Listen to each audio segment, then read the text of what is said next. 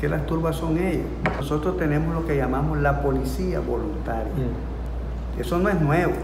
En la ley de la Policía Nacional, si usted revisa la ley de la Policía Nacional, ahí está establecida la policía voluntaria y que tiene también sus misiones específicas y que esta policía voluntaria participa junto con la policía profesional en, en acciones preventivas.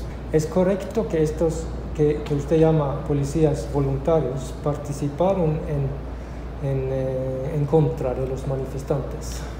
pero están debidamente legalizados. Participaron a como lo establecen nuestras normas jurídicas, no a como establece a lo que dice la derecha nicaragüense. ¿Por qué andaban con enmascarados? No todos ellos eran policías voluntarios, también policías nuestros, profesionales.